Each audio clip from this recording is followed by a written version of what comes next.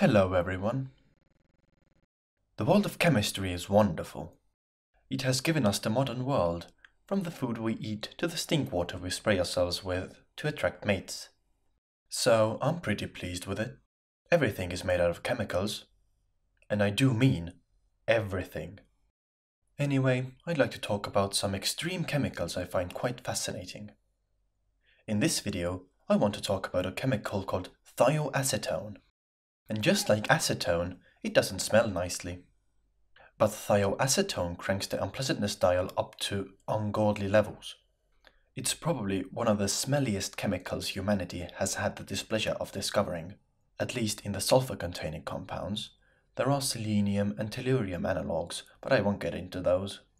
Because thioacetone is so smelly, there isn't a lot of info on the compound, because scientists are not rushing to study it, and to be honest, I don't blame them.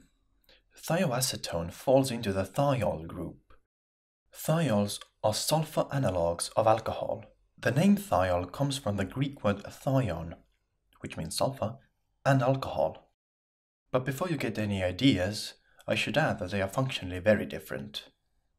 Nearly all thiols smell quite bad to us humans because they are sulfur-containing compounds and we have evolved to detect them in very small amounts because most of them are released by rotting things and it's usually a good idea to avoid them. We put thiols into the gas mains going to our houses because natural gas is odorless and we wouldn't be able to detect a gas leak until it was too late. So thank you thiols you disgustingly smelly helpers. In 2013, there was a thiol leak in France. The non-toxic gas cloud travelled all the way from the French factory more than 200 kilometers away to London and was still potent enough to prompt a flood of emergency calls to Britain's national grid. The smell was described as a mixture of sweat, garlic and rotten eggs.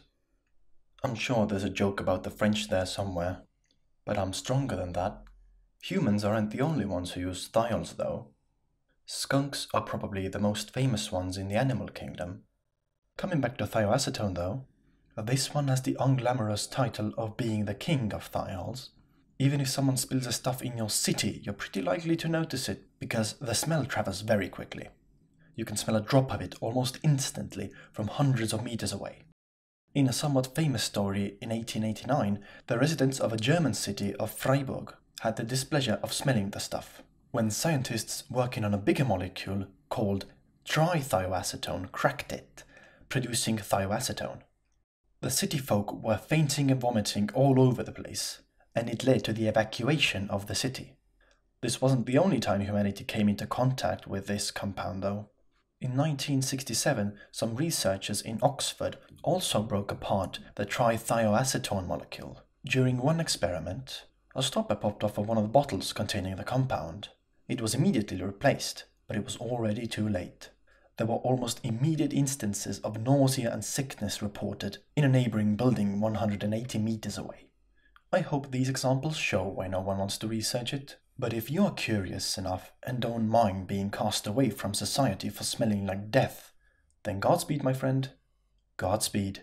That's all I have to say on the smelly world of thioacetone. Anyway, thank you for watching, and I will see you next time.